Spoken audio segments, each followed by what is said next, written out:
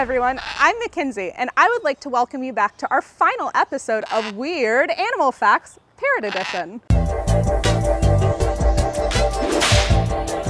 We've talked about a lot of the things that make up a parrot in our past episodes, such as feet, tongues, and feathers.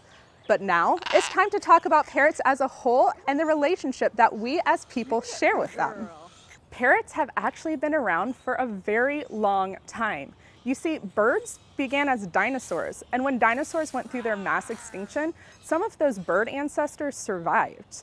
The oldest parrot fossil remains, dating 55 million years old, were found in Scandinavia, of all places.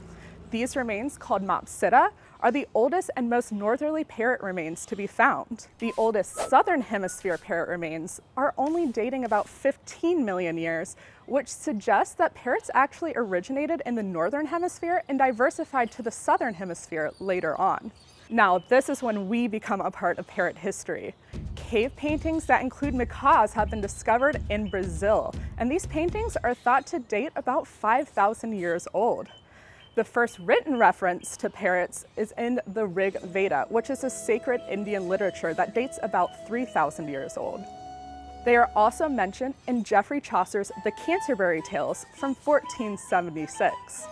In the 13th century, Marco Polo reported seeing parrots in southern India, and there are some stories that say that Christopher Columbus may have been led off course by a flock of parrots while sailing in 1492.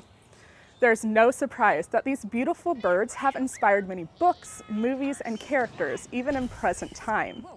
There are some people who even have them in their home as pets. Now, our biggest hope is that if you're considering bringing any animal into your home as a pet, you do your research.